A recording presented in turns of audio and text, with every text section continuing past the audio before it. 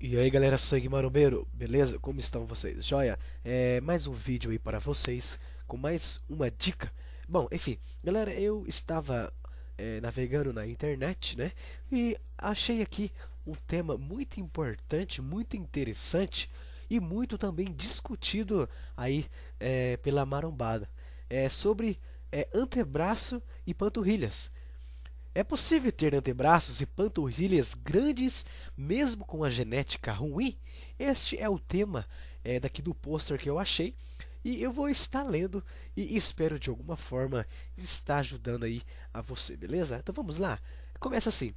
A maioria das pessoas sabem o quão difícil é ganhar massa muscular nos antebraços e nas panturrilhas.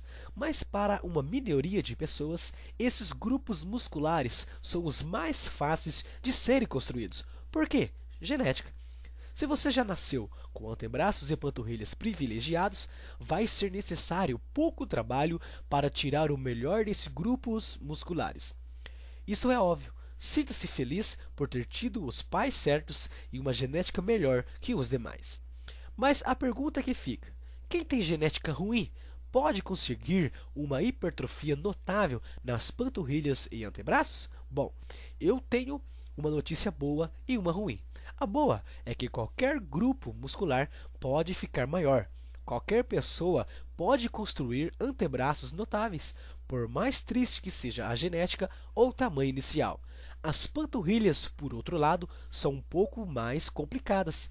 Se elas são pequenas por natureza, não tem problema, elas podem ficar maior.